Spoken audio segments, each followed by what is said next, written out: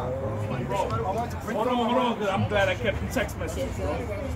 No, you sent me texts this week. No, no, no, no, no. Come here, come here, come here, come here, come here. Yo, Anthony, Anthony, son this nigga. Fuck this fucking Hulk Hogan nigga, man.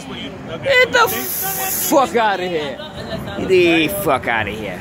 Let's go to October 3rd, right? Let's go to, hold on, let's go to, let's go to October 3rd. Let's go October 3rd.